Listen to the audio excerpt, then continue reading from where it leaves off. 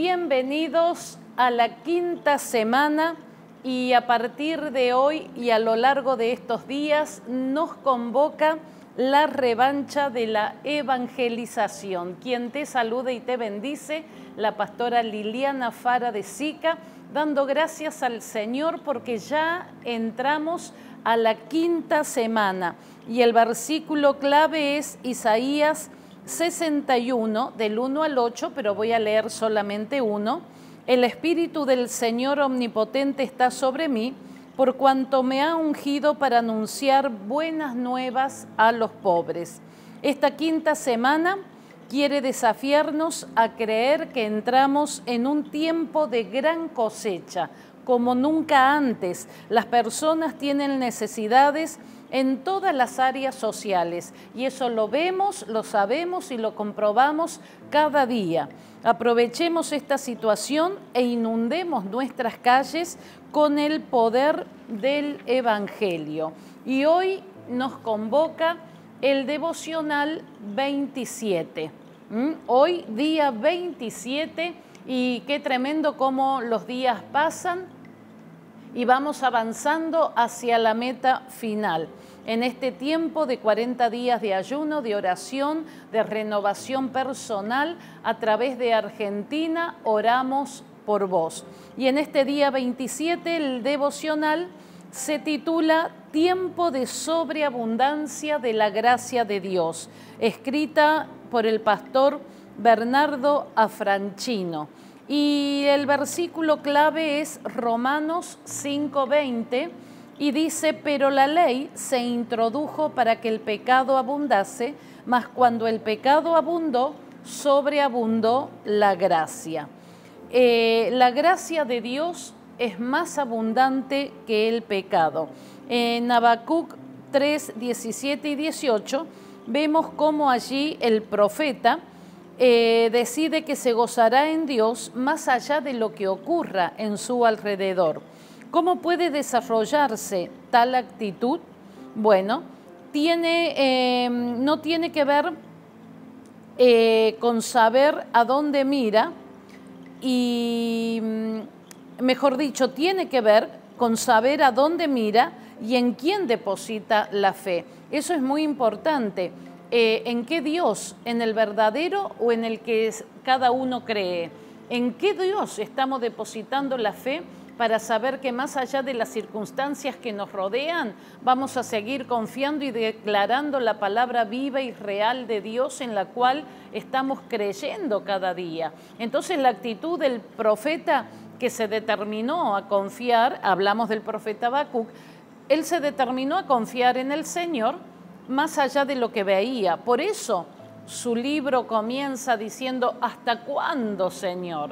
Pero sin embargo, acaba eh, la exposición de la palabra eh, confiando en el Señor como siempre debió hacerlo.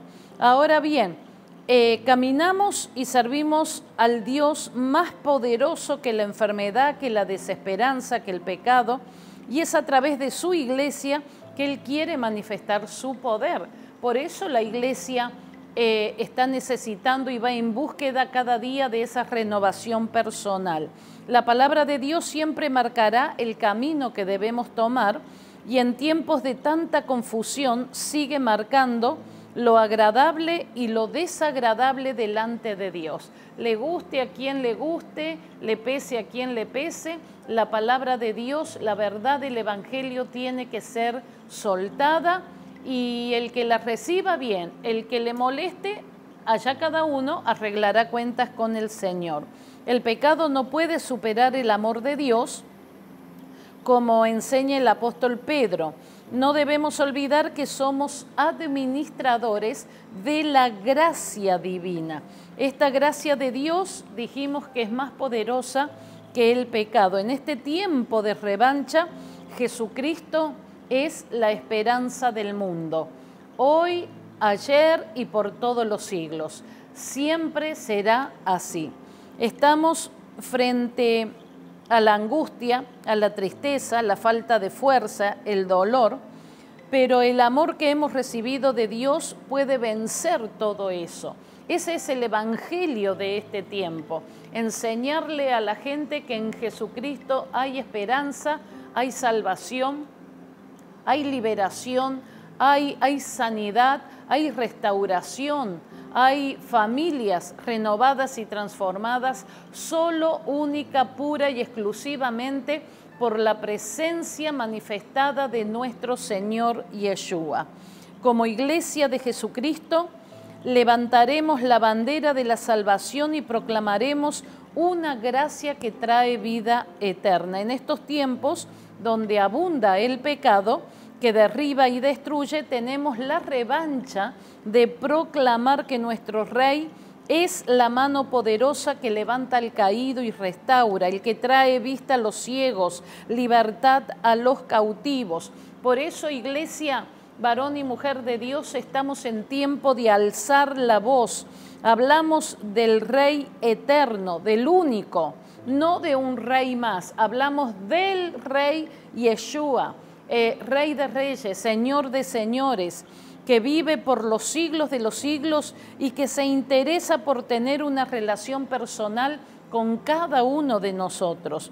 El apóstol Pablo le enseñó a Timoteo que siempre es buen momento para anunciarlo a tiempo y fuera de tiempo. Qué importante que es esto. Eh, veremos uno de los mayores avivamientos en el crecimiento. En Lucas 10 también la palabra nos muestra que el Señor envió a 70 seguidores a mostrar el reino de Dios de una forma que luego la iglesia primitiva practicó. Le dijo, vayan, bendigan, hagan señales y prediquen salvación. Lo mismo debemos hacer hoy. El mensaje es el mismo. El mensaje no ha cambiado con los tiempos. Y vamos a orar y dice aquí los motivos de oración para este devocional que nos convoca. Oremos para que cada congregación no se canse de anunciar el mensaje de salvación y de restauración de nuestro Señor. Oremos por nuestra nación, asumiendo el compromiso de manifestar el mensaje de poder desde donde estemos, cada uno en su lugar tomemos autoridad y derribemos toda obra del infierno contra nuestro país y clamemos para ver manifestarse el poder de Dios aún en mayor medida. ¿Mm? Qué importante que es esto. Te invito entonces que juntos podamos orar.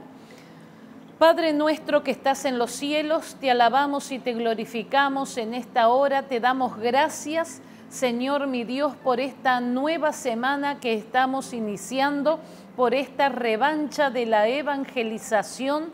Señor mi Dios, después de este tiempo de pandemia donde la iglesia en parte estuvo detenida, parada, hoy Señor mi Dios, levantamos voz en cuello declarando que la iglesia, tu iglesia, tus hijos, Señor mi Dios, eh, cada congregación estamos declarando la, la palabra viva y real, que todo cansancio será quitado, que, que todas nuevas fuerzas vendrán a cada congregación, a cada hijo tuyo para anunciar el mensaje de salvación y de restauración en Jesucristo. Oramos a favor de nuestra nación argentina, Señor mi Dios, para que como iglesia que somos y que tenemos tu luz, Señor, llevemos el compromiso de manifestar el mensaje de poder donde cada uno se encuentre, en cada barrio, en cada localidad, en cada partido, en cada provincia, en cada ciudad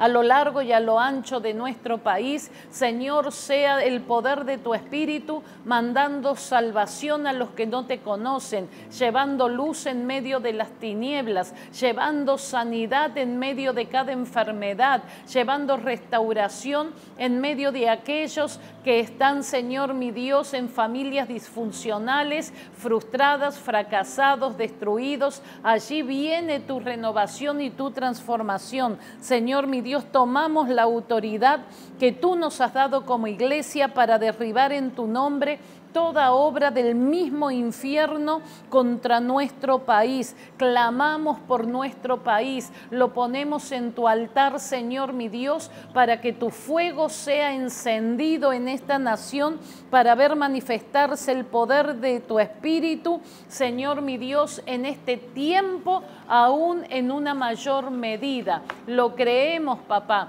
porque escrito está que antes de tu venida, Señor mi Dios, un gran avivamiento vendrá donde miles y miles de almas procederán a conocerte y a recibirte. Lo creemos y lo declaramos hecho por el poder de tu Santo Espíritu. Amén y amén. Dios te bendiga.